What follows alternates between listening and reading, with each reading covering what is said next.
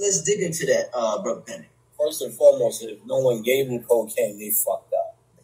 Uh, If no one gave him any cocaine, they would have fucked up.